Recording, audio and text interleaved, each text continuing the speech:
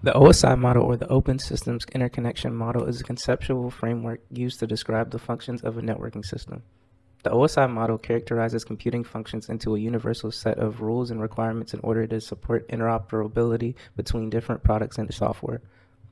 In the OSI reference model, the communications between a computer system are split into seven different abstraction layers. These layers include the physical layer, the data link layer, the network layer, the transport layer, the session layer, the presentation layer, and the application layer. The OSI model was created at a time when network computing was in its infancy. It was published in 1984 by the ISO, and though it does not always map directly to specific systems, the OSI model is still used to this day as means to describe network architecture.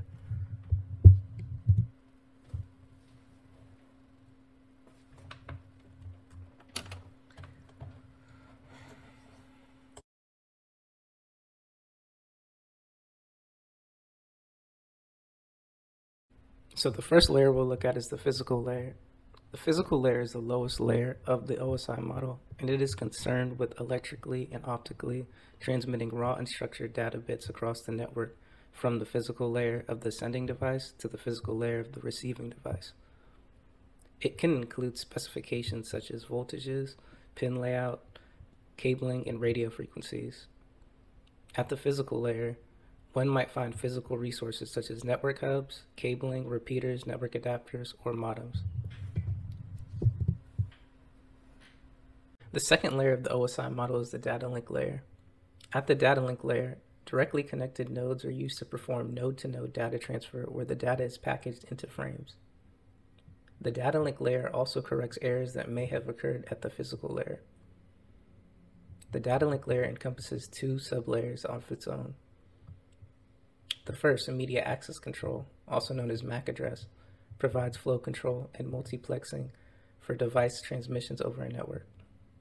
The second, the logical link control, also known as LLC, provides flow and error control over the physical medium as well as the identifies line protocols.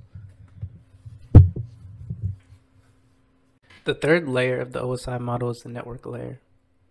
The network layer is responsible for receiving frames from the data link layer and delivering them to their intended destinations based on the addresses contained inside the frame. The network layer finds the destination by using logical addresses, such as IP addresses or Internet Protocol. At this layer, routers are crucial components used to quite literally route information from where it needs to go between networks.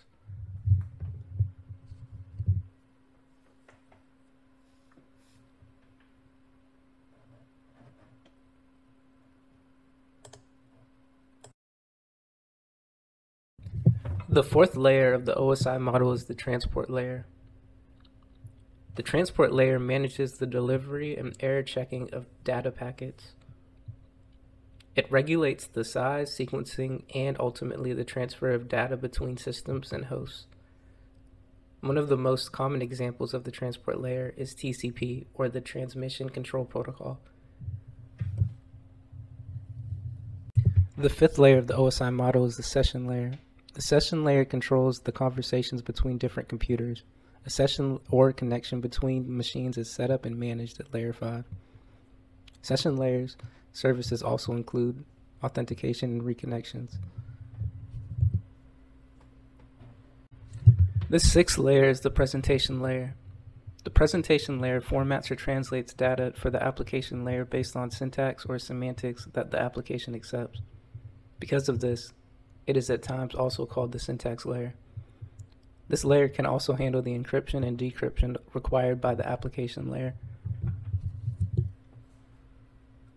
The seventh layer is the application layer.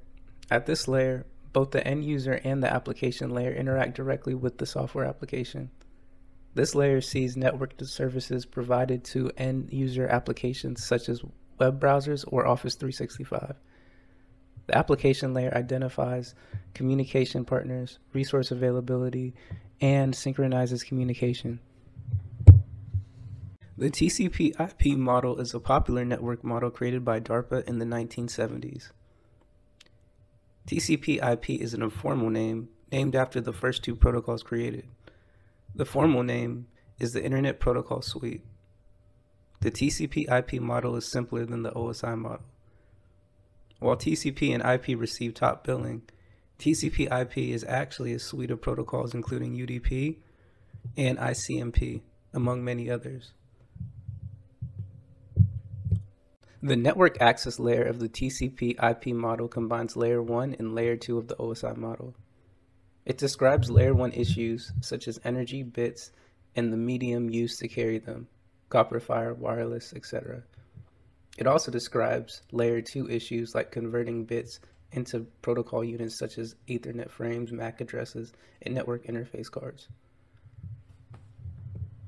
The internet layer of the TCP IP model aligns with layer 3 or the network layer of the OSI model. This is where IP addresses and routing live. When data is transmitted from a node to one LAN to a node on a different LAN, the internet layer is used. IP version 4, IP version 6, ICMP, and routing protocols, among others, are internet layer TCP IP protocols. The host-to-host transport layer, or more commonly called simply the transport layer, connects the internet layer to the application layer. It is where applications are addressed on a network via ports. TCP and UDP are the two transport layer protocols used in TCP IP. The TCP IP application layer combines the session, presentation, and application layers of the OSI model. Most of these protocols use a client-server architecture where a client connects to a listening server, such as SSHD. The clients and servers use either TCP or UDP, or sometimes both, as a transport layer protocol. TCP IP application layer protocols include Secure Shell, Telnet, FTP, and many others. A MAC address is the unique hardware address of an Ethernet NIC typically burned in at the factory. MAC addresses may be changed in software. Historically, MAC addresses were 48 bits long. The first 24 bits form the organizationally unique identifier, also known as the OUI, and the last 24 bits form a serial number, formerly called an extension identifier. The IEEE created the EUI 64, also known as the Extended Unique Identifier, for standard 64-bit MAC addresses.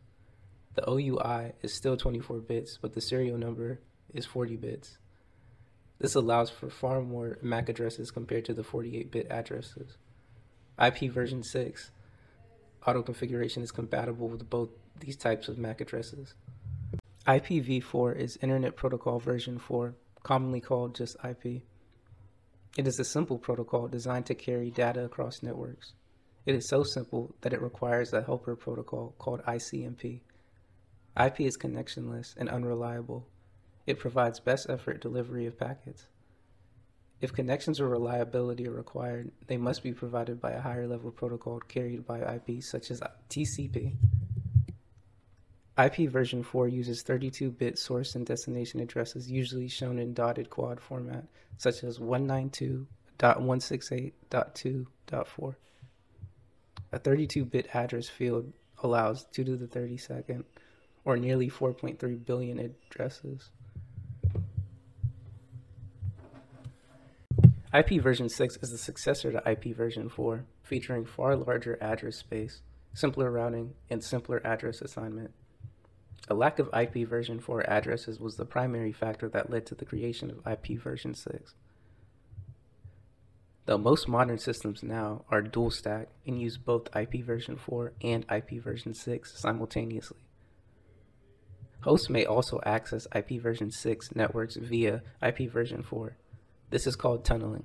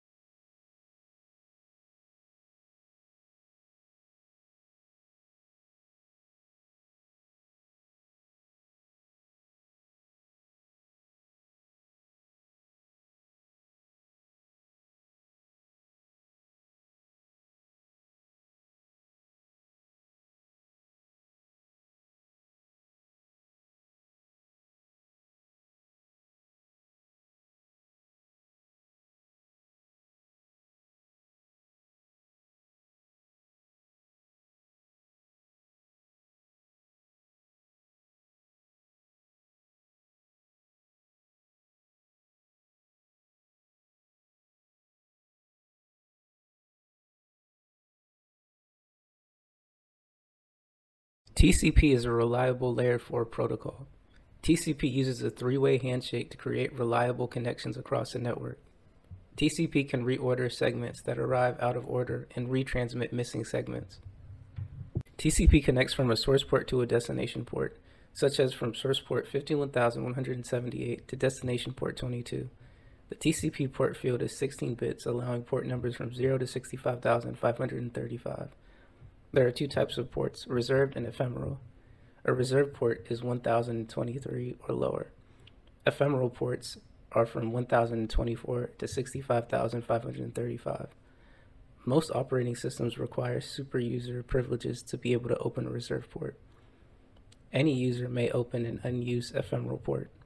UDP is a simpler and faster cousin to TCP. UDP is commonly used for applications that are lossy or can handle some packet loss, such as streaming audio and video. It is also used for query response applications, such as DNS queries. Internet Control Message Protocol, or ICMP, is a helper protocol that assists Layer 3. ICMP is used to troubleshoot and report error conditions. Without ICMP to help, IP would fail when faced with routing loops, ports, hosts, or networks that are down. ICMP has no concept of ports as TCP and UDP do, but instead uses types and codes. A multitude of protocols exist at the TCP IP application layer, which combines the session, presentation, and application layers of the OSI model. Telnet provides terminal emulation over a network. Terminal means text-based VT100 style terminal access. Telnet servers listen on TCP port 23. Telnet was the standard way to access an interactive command shell over a network for over 20 years. Telnet is weak because it provides no confidentiality. All data transmitted during a Telnet session is plain text, including the username and password used to authenticate the system. FTP is the file transfer protocol used to transfer files to and from servers. Like Telnet, FTP has no confidentiality or integrity and should not be used to transfer sensitive data over insecure channels. FTP uses two ports. The control connection, where commands are sent, is TCP port 21. Active FTP uses a data connection, where data is transferred that originates from TCP port 20. Secure Shell, or SSH, was designed as a secure replacement for Telnet, FTP, and the Unix R commands. It provides confidentiality, integrity, and secure authentication, among other features. SSH includes SFTP and SCP for transferring files.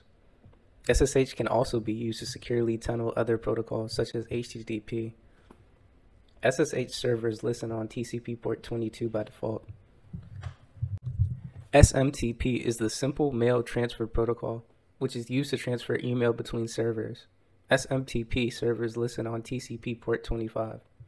POP version 3, also known as Post Office Protocol, and IMAP, also known as Internet Message Access Protocol, are used for client server email access, which use TCP ports 110 and 143 respectively.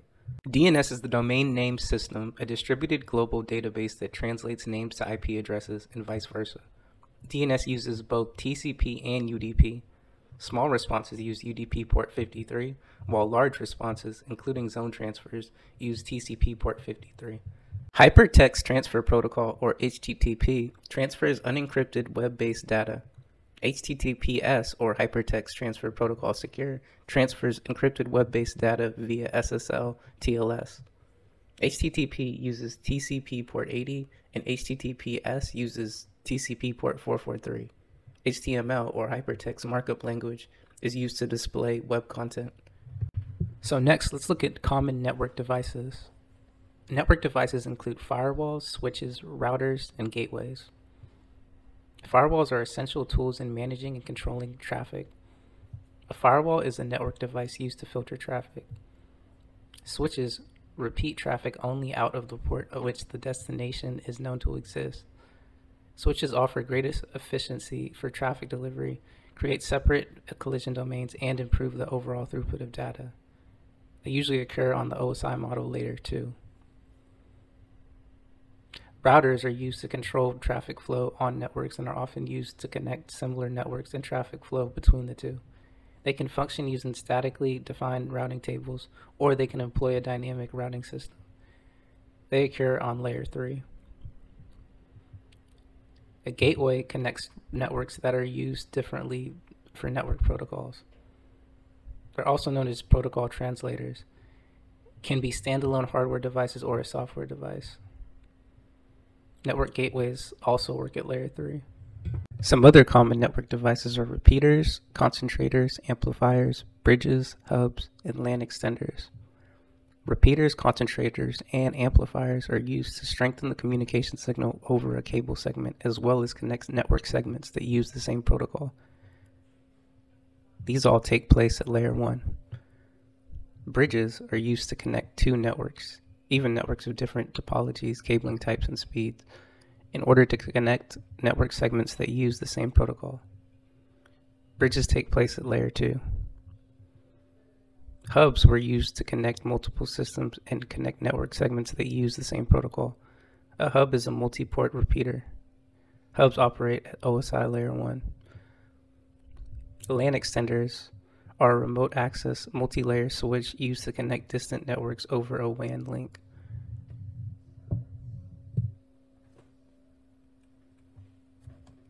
Network devices include LAN and WAN technologies, also known as local area network technologies and wide area network technologies. WAN connections and communication links can include private circuit technologies and packet switching technologies. Private circuit technologies use dedicated physical circuits.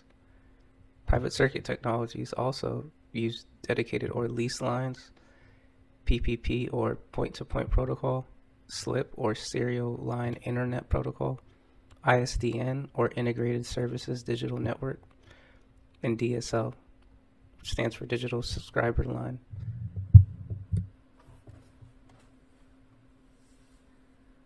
Packet switching technologies use virtual circuits instead of dedicated physical circuits. This is more efficient and cost effective. Packet switching technologies include X.25 frame relay, asynchronous transfer mode, also known as ATM, synchronous data link control, also known as SDLC, and high level data link control, also known as HDLC.